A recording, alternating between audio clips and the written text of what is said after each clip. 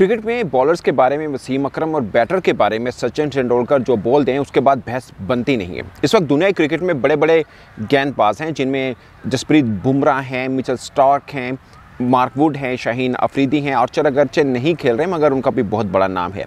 मगर वसीम अकरम, क्रिकेट गुरु बल्कि बॉलर्स के गुरु, वसीम अकरम का मानना है कि जसप्रीत बुमराह इस वक्त वर्ल्ड में नंबर वन है।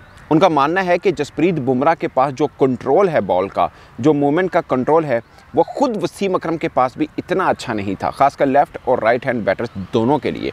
ये एक बहुत बड़ा कॉम्प्लीमेंट है जो पाकिस्तान के सबसे बड़े बॉलर और क्रिकेट के ऊपर सबसे बड़े अथेंटिक माने जाने वाले वसीम अकरम का जसप्रीत बुमराह के बारे में है।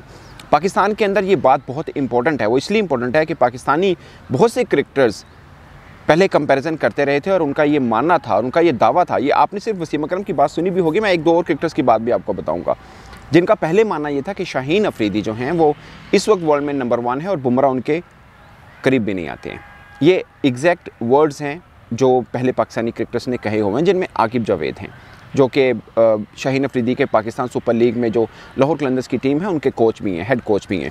अब वो भी वो भी कह रहे हैं कि इस वक्त वर्ल्ड बेस्ट बुमराह हैं और बल्कि उन्होंने फिर ये बताया भी कि बुमराह वर्ल्ड बेस्ट क्यों हैं। अब्दुलरजाक का मुझे आज भी एक स्टेटमेंट याद है, जब जर्नलिस्ट ने पूछा कि बुमराह और शहीन का कंपैरिजन किया जाता है तो उन्होंने बोला कि बुमराह तो शहीन के करीब भी नहीं आते। ये अब्दुलरजाक का कोट अभी भी मौजूद है छः सात माह पहले की बात है। ये जब इतने इतने बड़े क्रिकेटर्स आज कह रहे हैं कि बुमराह नंबर वन है, इसके ऊपर तो बहस ख़त्म हो जानी चाहिए, मुझे लगता है। लेकिन दो तीन चीज़ें एक ख़ास हैं, जिसके ऊपर रोशनी डालना बहुत ज़रूरी है। सबसे ख़ास बात की जो कहा जाता है ना कि इंजरी के बाद क्रिकेटर आया अभी टाइम लगेगा, वो मिथ तोड़ी है बुमराह ने। ऑलमोस्ट 14 15 मंथ के बाद आके वो वनडे अपना पहला मैच खेले थे, और कमाल बॉलिंग की उस वक्त भी उन्होंने एशिया कप में भी। एशिया कप सिर्फ़ आप वर्ल्ड कप में लेकिन देख रहे हैं, मैंने एशिया कप से फॉलो किया बुमराह को। मतलब पहले भी कर रहा हूँ बट मैंने उनको उन ग्राउंड फॉलो किया, खासकर जैसे वो ट्रेनिंग के अंदर भी बॉल डाल रहे थे। कोहली के सामने जब उन्होंने बॉलिंग वगैरह की थी तो वो। अच्छा एशिया कप और वर्ल्ड कप का मैं आपको स्टैट बता दूँ कि आगे आगे आप लोग वर्ल्ड कप का देख रहे हैं, मगर एशिया कप में उनका उससे भी तगड़ा था। जैसे अब यहाँ के मतलब एशिया कप में उनका 3.4 इकॉनमी के साथ उन्होंने रन दिए थे, अगरचे यहाँ पर फाइव के करीब करीब हैं।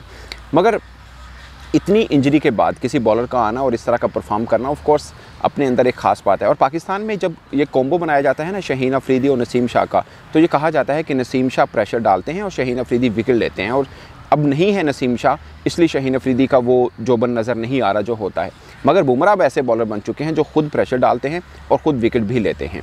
और ख़ासकर उनको जो यूज़ कर रहे हैं रोहित शर्मा, शायद आप लोग भी बहुत उनको नोट करते होंगे, उनको तीन जगहों पे यूज़ करते हैं रोहित शर्मा।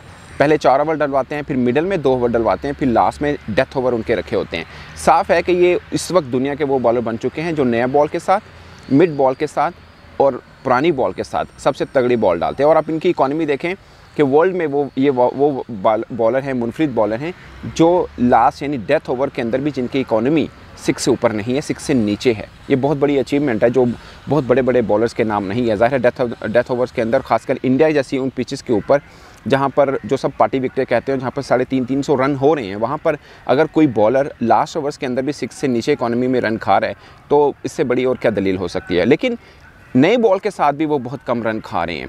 मैक्सिमम पंद्रह रन भी चार ओवर में पावर प्ले के अंदर जब सिर्फ़ दो फील्डर बाहर होते हैं, जब पार्टी विकटें होती हैं, पहले भी बॉल कर ली, बाद में भी बॉल कर ली। चार ओवर के अंदर उन्होंने पंद्रह भी रन नहीं खाए हैं। अब मैं आपको उनका बताता हूँ स्टैट कि अब तक क्या रहा है।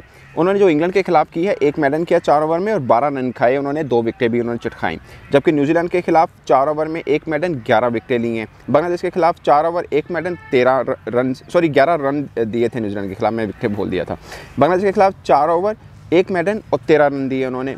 पाकिस्तान के खिलाफ चार ओवर में चौदह रन दिए। ये सबसे ज़्यादा रन है पावर में जो अब तक बुमराह ने दे रखे हैं। अफ़गानिस्तान के खिलाफ चार ओवर में सिर्फ़ नौ रन दिए थे, जबकि ऑस्ट्रेलिया के खिलाफ चार ओवर में उन्होंने ग्यारह रन दिए थे ऑस्ट्रेलिया की वो टीम जिसमें वार्नर भी हैं, जिसमें मिशल मार्श हैं जो बहुत अटैकिंग क्रिकेट खेलते हैं, ये उनके सामने इनका रैकेट है।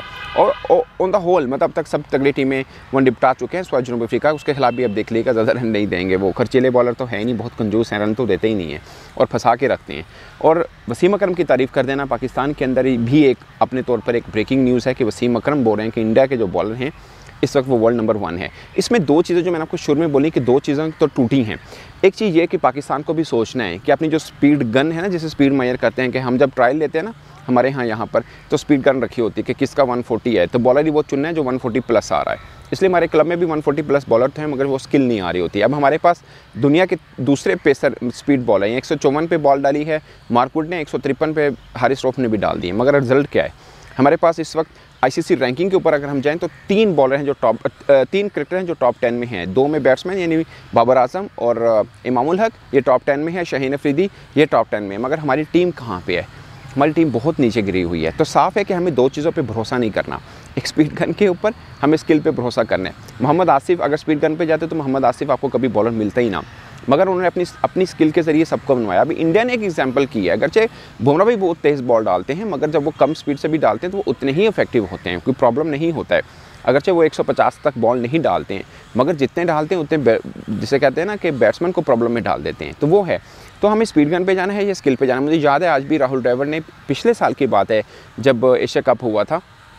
तो उन्होंने कहा था, उन्होंने कहा था कि हम स्पीड के ऊपर नहीं, हम स्किल के ऊपर काम करते हैं।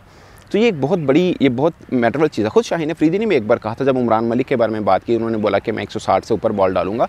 तो शाहीन अफरीदी ने भी ये बोला था कि यार स्पीड बहुत मैटर नहीं करती स्किल मैटर करती है। तो ये चीज़ पाकिस्तान को अब सोचनी है कि स्पीड गन को दूर फेंकने, आपको स्किल बॉलर चाहिए, ना कि बहुत तेज़ रफ्तार, ठीक है, तेज़ रफ्तार भी आपको कहीं कहीं चाहिए होती है ऑफकोर्स चाहिए होती है, मगर उसके साथ स्किल बहुत ज़रूरी है।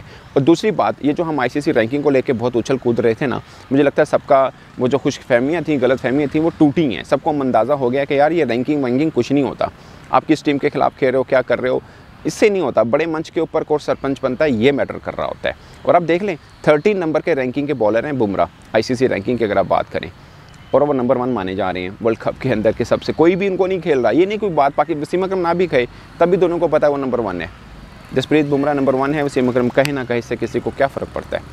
तो दोस्तों, ये था आपका रैकेट। उन्होंने 14 विकटें ले रखी हुई हैं वर्ल्ड कप में, और मुझे लगता है जब वर्ल्ड कप ख़त्म होगा तो सबसे ज़्यादा विकटें उनकी होंगी। और, आज जो वसीम अक्रम बोल रहे हैं, वो सब बोलेंगे। मुझे लगता है सब बोल ही रहे हैं ऑलरेडी भी। तो ये है। दोस्तों, आपकी क्या राय है जसप्रीत बुमराह को लेकर? बहुत से इंडियन फ़ैन तो कहते हैं, जैसे जैसा कोई नहीं, मगर पाकिस्तानी फ़ैन खासकर। इनके बारे में क्या राय रखते हैं? कमेंट के शोध में ज़रूर बताएगा मेरे तरफ़ से अब तक के लिए इतना ही। इजाज़त दीजिए। अल्लाह हाफिज़।